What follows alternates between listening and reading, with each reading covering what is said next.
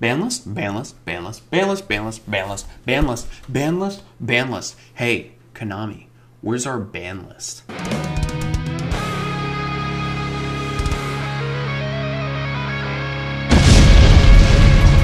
Hello, ladies and gentlemen. Here's your host with the most, Avery LR32 here, and destroy the ever-living boo-boo stain off that like and subscribe button as we climb even higher the 1400 ladder as we one day hit 2000. Hopefully one day sooner rather than later. But right now, what we're waiting on much later than sooner is our ban list. Uh, it's been a while, ladies and gentlemen, and uh, I'm very sick of playing against all the degenerate Fire King garbage.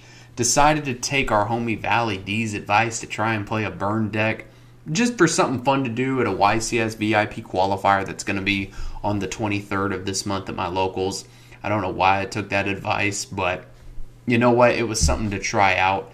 Uh, the the deck is garbage. Don't don't play a burn deck. Just because one got top four at a regional does not mean it's good. It's garbage. I can promise you that. so I'm so tired of seeing Flamberge Dragon. I'm tired of seeing Promethean Princess. I'm tired of seeing Poplar and Snake Eye Ash and all these things. Blah, blah, blah. Look, when can we realistically expect this next list? And Konami in the past has invalidated YCSs with the release of a ban list. I think that they want to avoid ever doing that again because, you know, it kind of makes the people who attended the event feel jaded because the results are meaningless. Three, two, one. I think they want to avoid dropping a ban list during or even right before YCS again because it just invalidates the results of that event and no one just even pays attention to it because they're all playtesting new format. My worry is that they're going to wait until after Rally. Um, they're going to probably wait, you know, maybe a little bit after the VIP qualifier events for like YCS Indian stuff start kicking up because, you know, those are kind of starting around like next week or so, I think. Um, like I said, mine's on the 23rd. There's some uh, where our homie Valley D's at uh, further down south on like the 27th when Legacy of Destruction is legal. So like there are events coming around like the VIP qualifiers and things that maybe Konami wants to keep under this current ban list, and then once we actually like hopefully before June when we have YCS Indy, we get a fresh list because you have to keep in mind that whatever list we get has to carry us through nationals. And the biggest issue I see with this ban list that we're still fucking waiting on is that I don't think they're going to hit Flamberge. I don't think they're going to hit Promethean Princess. I think that we might see something like Heavy Storm come back to one, which would be really cool.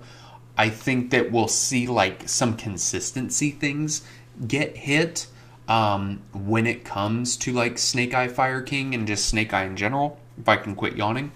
Um, but no matter what they hit, I think that there's going to be a lot of decks that come from this current format into the new format that are still going to be viable. Like, perfect example being the 60 card Volcanic FTK. I really want to play that deck. The problem is I can't learn the Volcanic lines to save my life. But I think that that deck's going to be viable no matter what. Even if they put like Black Witch to one and Wanted to one and like Ash to one, and even like Bonfire to one, I think you could still play the deck and make it very, very good. You just kind of trim the fat and, you know, kind of just go from there. But I'm thinking we're not going to get this list at the earliest until like the end of this month, if not like early May. And that's really an issue because we are in a tier zero format. Like Voiceless Voice, I guess, can kind of keep up if they don't get hit with D Shifter, but I mean, even when we get Tenpai, like you could even maybe play a Snake Eye engine in Tenpai. Like Snake Eye can be played in, in anything. Like Beaver Warrior OTK, you throw in a Snake Eye engine. Like, it, can you tell I'm so tired of talking about fucking Snake Eye? This is why like I haven't been posting daily for a while because I try to post every couple of days, like to at least stay in the YouTube algorithm and talk about the game. But it's hard to talk about the game when like the market is moving for collector stuff. And like Trident, Dragion, Ultimate Rare, Unlimbs, and Near Mints are like over $200 right now. And I got mine for like 82 which is really funny. But other than like the market moving for like things for the future or like collector stuff, there's nothing happening other than like Snake Eye is like five. Well, I wouldn't even say five. Like two to three hundred dollars cheaper. Like it's no longer a thousand dollars, but the prices have dropped because people are afraid it's going to get um, hit on the balance, which it will be in some degree. I just don't think it's going to be the hits that we want.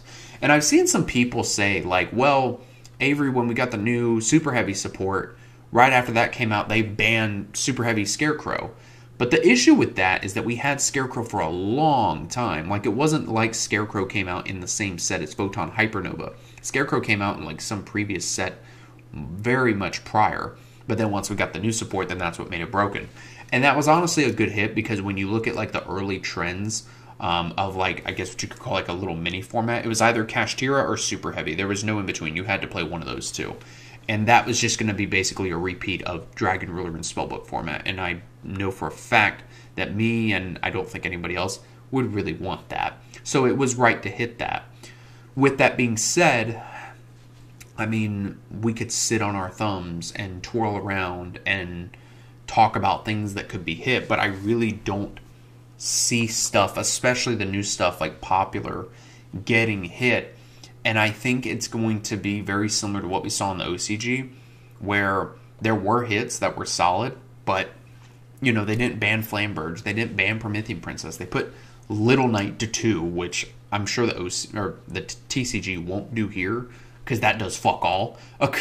But it's just so boring. Like I'm having a lot of fun playing Tenpai, but I'm having fun playing Tenpai because 95% of the time I'm beating Snake Eye, whether it's because I just happen to open up the shifter or just because of the fact that I'm just steamrolling them with all of the other hand traps and gas that I have in my hand to where I can just OTK. You know, black rosing a board when you have the Tenpai field spell up so the black rose is just unaffected, no matter what deck you are, that's really good, Sugar Boo Bear. Even if you got Promethean Princess and everything else and can rebuild your board with Fire Kings, cool, but now your board is in a simplified state and I can just steamroll you.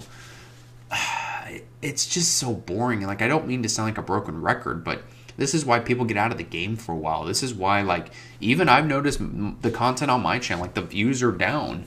Um, like, it's pretty much if you're not crapping on the format or crapping on some aspect of the game right now, because the format is bad, then you're not really going to get a lot of views. Like, something that, uh, my buddy put, uh, and it was a really good way of saying like the format's bad.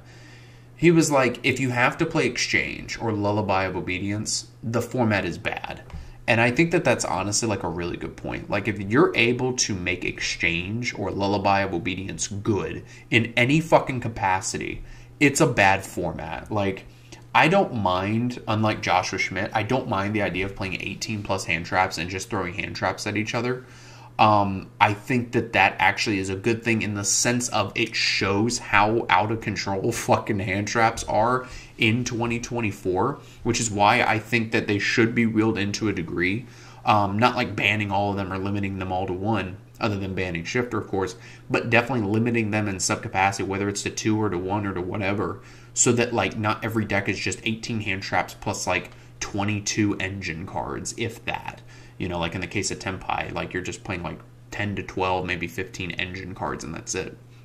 But, oh, I'm thinking that we're not getting a list until like late May. I think that they're going to wait till after the results of Rally, and then like a week after Rally, we get a ban list. We roll into May, May 1st, let's say, the great burst of May 1st, for those of you who know about Darkside Phil. Uh, the great burst of May 1st, we get like the, the execution of the list, it goes into effect. That gets us through ideally what? If you count May, May, June, July, August. If you don't count May, then like around like September. September, maybe we'll finally see fire get decimated. Um, September ban lists throughout the years have been known to really slow down the game. Um, if I remember correctly, usually the September lists have like a lot of hits, but from what I remember in the past, I think September formats were like pretty fast formats. I could be wrong. I thought September formats were usually pretty slow. But the point that I'm making is that maybe by September or October, when I'm turned 28 years old, Jesus Christ, we'll finally like be out of fire and like maybe we'll be into the next attribute wind whatever i hope that's not what they do because the next several formats just going to be fire, and then this attribute, then this attribute. Like, no, please no. Guys, let, let me know what you think about all this. I, I'm I'm so tired of this format. Uh, it's like, g- give us a ban list. Even if it says no changes, this is why we need a fucking end date on our list. The OCG gets one, Master Shits gets one, every other aspect of the game gets an end date, and we don't. We just get to sit and spin. Woo! I'm going to bed.